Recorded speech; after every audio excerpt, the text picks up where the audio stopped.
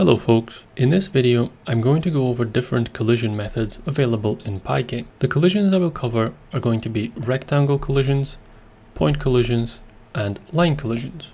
I'll begin with rectangle collisions as that's the most common type. Let's first of all look at how a collision check works. Detecting a collision is a case of checking to see if any of the edges between two rectangles intersect. This will result in an overlapping collision region. Luckily, we don't have to do this manually, as Pygame has a built-in method for checking for collision between rectangles, and this is the collide rect method. Let's take a look at some code and see how this works in action. I have my starter code here which I'll quickly explain. First of all I am importing my modules, I'm creating the game window, then I create my two rectangles. So rect underscore 1 is going to be the main object rectangle that I'm going to move around. And then I have my obstacle rectangle. This one is going to be positioned randomly each time the game runs. So I've loaded in the random module. I then have a few colors defined just to save me having to type them out manually each time. Then I hide the mouse cursor and then I get into my main game loop. Within the game loop, the first thing is to update the game background, and then I also set the color of my game rectangle. It's going to be green to begin with, but it will change every time there's a collision. Next, I get the coordinates of the mouse cursor, and I position rectangle 1 at those coordinates. So this way I can move the rectangle around with the mouse. After that, I draw both rectangles on the screen. So there's rectangle 1, and then there's the obstacle rectangle. Then I've got my event handler just to allow me to close the game down. And lastly, I use the flip method to update the game screen and then we close out with pygame.quit. When I run this, I get a green rectangle which I can move around with the mouse cursor and a blue rectangle which is positioned randomly down in the bottom right corner. At the moment, nothing happens when there's an overlap between the two because I haven't looked at collision detection yet. To check for collision, we just need to call that collide rect method that I spoke about earlier. We go up here where I set the color of the rectangle and just underneath, I add an if statement. We'll say if rect underscore 1, which is the rectangle I move with the mouse cursor, dot collide rect. Now the argument that this is going to take is the other rectangle that I want to check for collision with. So I'm taking my rectangle 1 and I'm checking for collision against a second rectangle. Well in this case it's the obstacle rectangle. If collision is detected, then we're going to change that color variable. This variable up here, which is initially set to green, is going to be set to red. And that's all there is to it. If I run this again, and I move this rectangle around, as soon as it comes in contact with the blue obstacle rectangle, my rectangle changes from green to red. Now that's easy enough for a single rectangle, but in a typical game we'll have a lot more than just two rectangles to check against. So let's see how to handle multiple collision checks. First, we go back up to the top where we create this individual obstacle rectangle and we create multiples of them. I'll start by making an empty list called obstacles. I will set that to empty square brackets to create my empty list. Then I add a for loop to iterate through and I'll say for underscore in range 16 and I indent this original obstacle rect line. So I still create them in the same way, but I'm going to do it multiple times within this for loop. Once an obstacle is created, I need to add it into the list. We'll say obstacles dot append obstacle rect. Next, I go down into my game loop and down here where I'm drawing the rectangles, I need to update this second line to make sure that I'm drawing all of the rectangles in the obstacles list. To do that, I simply iterate through that list. I'll say for obstacle in obstacles, indent this next line, and just change the last variable here to say obstacle. If I run this again, I'm now going to get all of these individual rectangles in place, and I can still move my green rectangle around, but notice that I'm not getting that collision detection anymore. I'm still checking for collision up here, but I'm only checking against the very last obstacle rectangle that was created. I'm not checking against all of them that are in that list. Well, to do that check, I need to again iterate through them. I will say for obstacle in obstacles, and then I indent the code that was below. So I'm still checking for collision between rectangle 1 and the obstacles, but I need to change this argument here to be the specific obstacle in that list. If I run this again, now, as I make contact with any of the blue rectangles, it detects a collision and it changes my current rectangle from green to red. It is possible to refine this code further, since Pygame has a built-in function for checking for collision with a list of rectangles. This works the same way as what I have here, but it saves us manually iterating through this list. We can get rid of this for loop here, and then unindent this if statement here. Next, I change this function from collide rect to collide list. And what I pass in here instead of the rectangle is the list, which is obstacles. If a collision is detected, then this function will tell me which rectangle I collided with.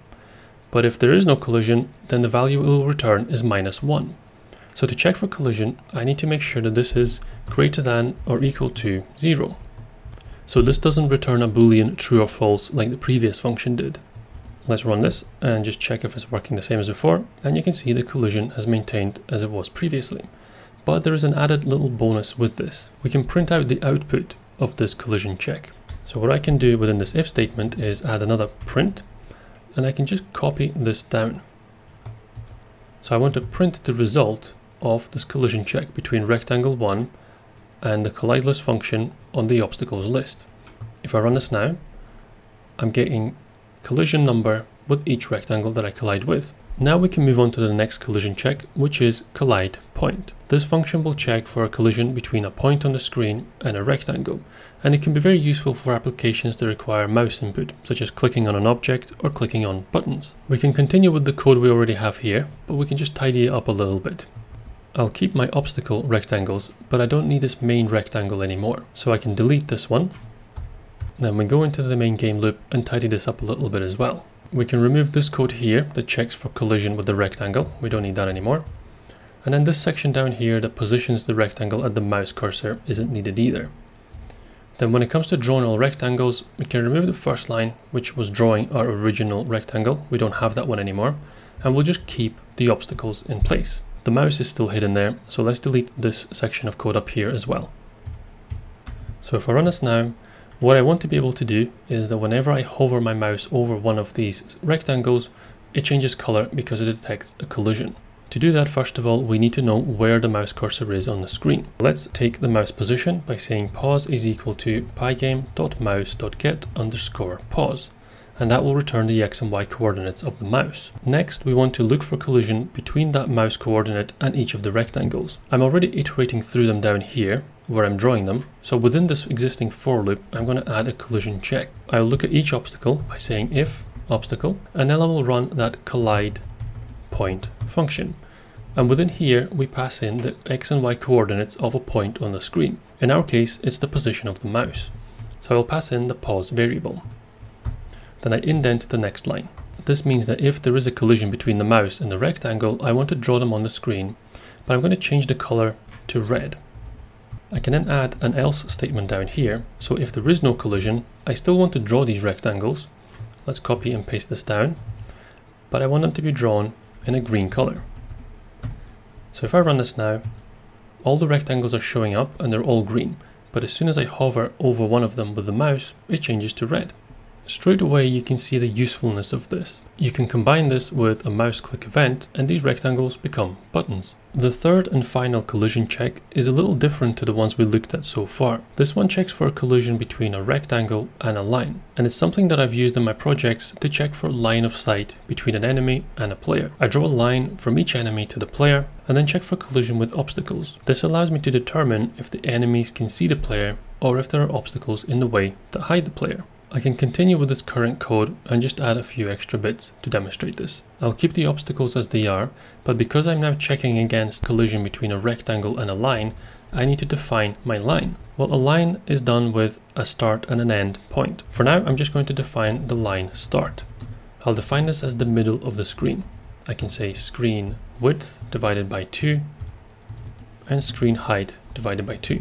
That will give me x and y coordinates in the center of the screen to start my line at. Next, I will draw that line between the start point and the end point, which is going to be the position of my mouse cursor. I'm already getting the position of the cursor with this line here.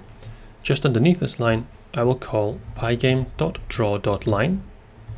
I'll pass my first argument, which is screen, then the color, which is white, then the line start variable, the line end variable, which is going to be pos, the variable up here, and lastly the thickness or the line weight, which will be 5 pixels.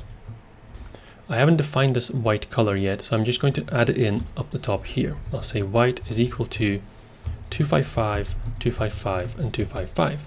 The collision check is actually very similar to what I did previously for collide point. I keep this loop here to be able to iterate through them. Then I have my if statement, which says if obstacle dot, but instead of collide point, I'm going to say clip line.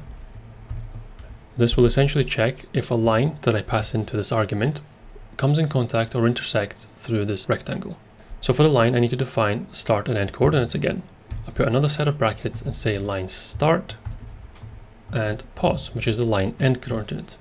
And if I run this code again, you're going to see that I have a line being drawn from the center of the screen to my mouse cursor, and wherever it crosses one of these rectangles, it detects a collision and the rectangle changes color.